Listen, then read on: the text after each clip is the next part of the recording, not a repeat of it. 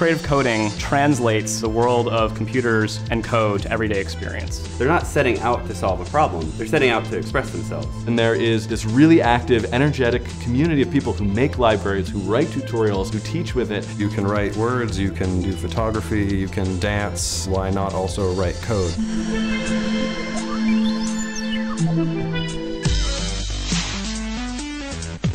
If you're going to program in C++ or you're doing stuff for the web and JavaScript, you've got to kind of piece together a lot of different elements and processing will let you just get started on day one immediately. There isn't this need for formal computer science rigor where you have to understand how every little bit of code line works. It's fine to just try to learn about how things work through doing.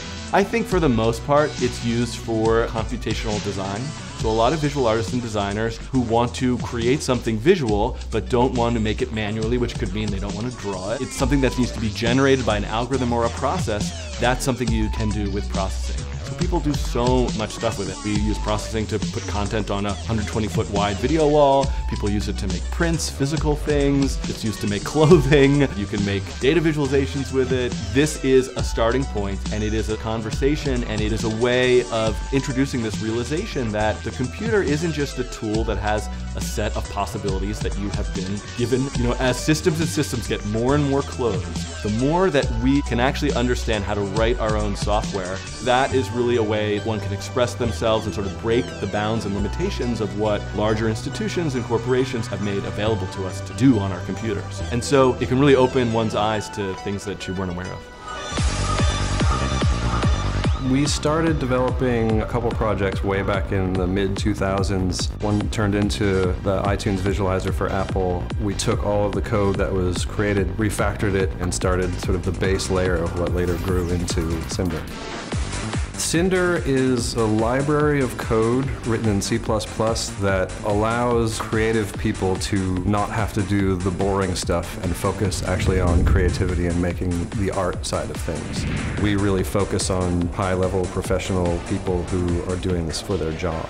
Cinder's been used in a lot of big scale and small scale projects. For example, the Nike Fuel Band wall was done in Cinder that was at South by Southwest. Mill produced something called Mill Touch where you could navigate through their portfolio, you could scrub video with your hands. Cinder is open source for a few reasons, one of which is that my company, Barbarian Group, benefits greatly from other open source projects. And so there's this desire and need to give back. Another reason for it to be open source is that we benefit greatly from other users who help write the library and grow the library to where it needs to be. You know, some people write, some people paint. There are some people who can basically think in visual code and do some of the most beautiful things you've ever seen.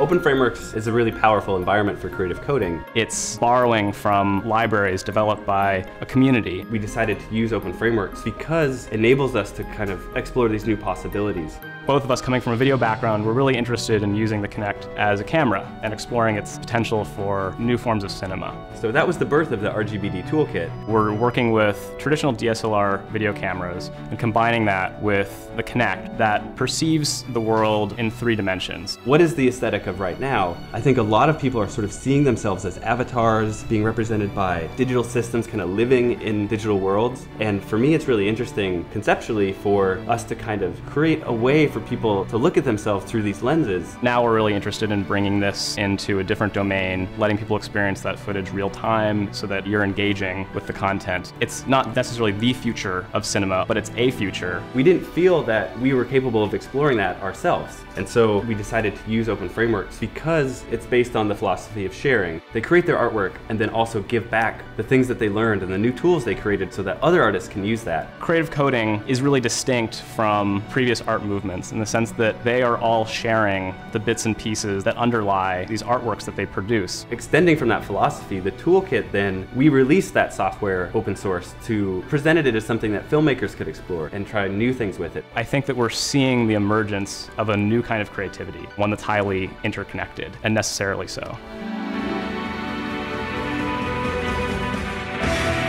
What the future is is kind of up to the community. It's up to the people who choose to volunteer, who make libraries. Now we actually have companies coming to the Open Frameworks community before they release a product saying, surprise us with this, let us know what you think we want to do with this. It shows how artists using technology in new ways can actually influence future commercial products. And I think the community is really supportive but also competitive at the same time, so it's pushing everything forward.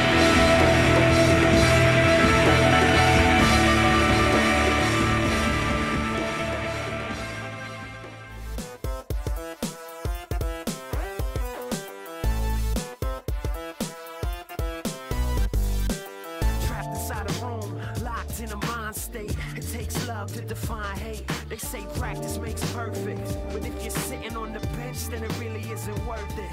So I rehearsed it.